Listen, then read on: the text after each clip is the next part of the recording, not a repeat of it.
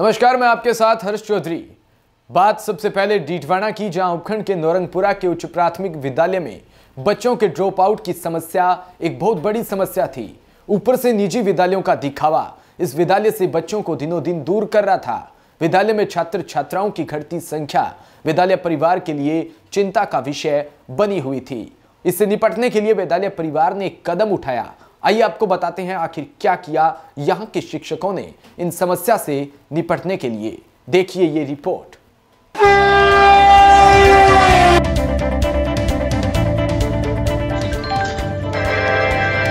कृपया ध्यान दीजिए।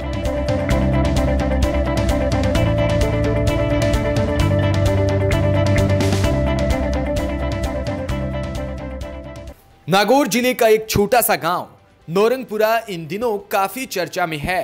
कारण यह है कि यहाँ का राजकीय उच्च प्राथमिक विद्यालय के शिक्षकों की एक पहल।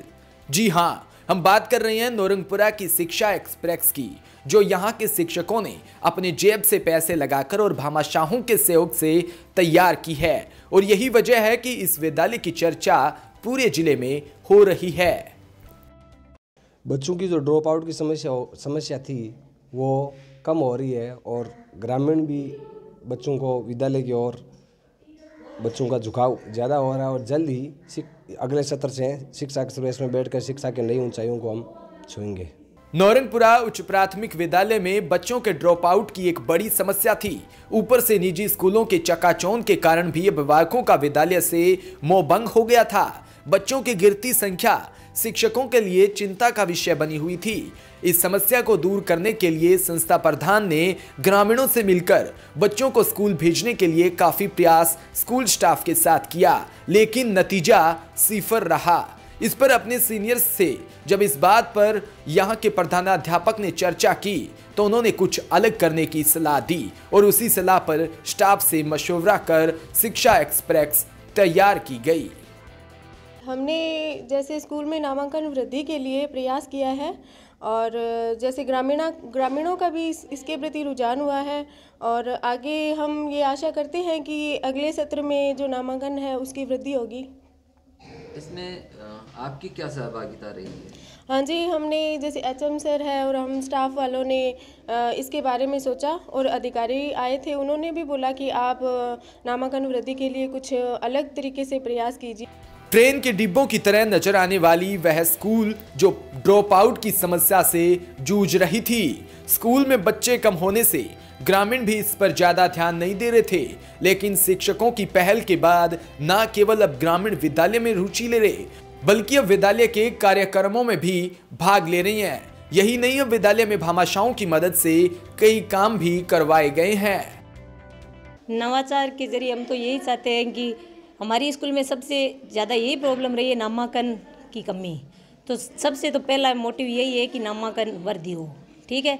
इसमें गाँव वालों का भी काफ़ी सहयोग है और गाँव वालों ने बोला है और स्टाफ और हमारे एचएम सर पर श्रीमान प्रदीप कुमार इसरावा, जिन्होंने भी बोला है कि क्या पता हम ये नवाचार करें शिक्षा एक्सप्रेस के ज़रिए, जिसमें ज़्यादा से ज़्यादा बच्चे हमारे स्कूल में जुड़े। और गाँव वालों पे काफ़ी सहयोग है मामासा के ज़रिए। विद्यालय में हुए सकारात्मक बदलाव का असर बच्चों पर भी देखा जा रहा है। यहाँ पढ़ने वाले बच्चे अपने इस नए अंदाज वाले स्कूल में काफ़ी खुश नज़र आ रहे हैं।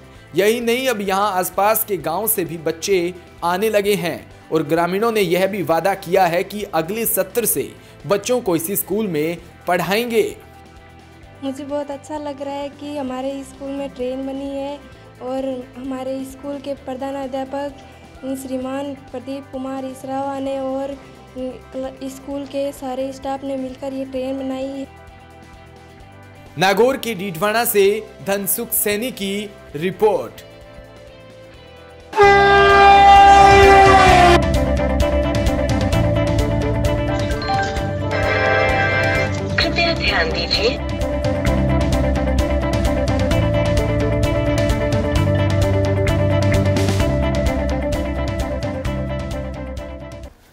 तो सरकारी विद्यालयों के प्रदेश में हालात किसी से छिपे हुए नहीं हैं, लेकिन नोरंगपुरा विद्यालय उन विद्यालयों के लिए एक मिसाल है, जहाँ ड्रॉप आउट की समस्या ज़्यादा है। ज़रूरत इस बात की है कि सरकारी स्कूल को, निजी स्कूलों से कंपटीशन को एक चैलेंज के रूप में लेना होगा, तभी सरकारी स्कूलों के हालात सुधर पाएँगे।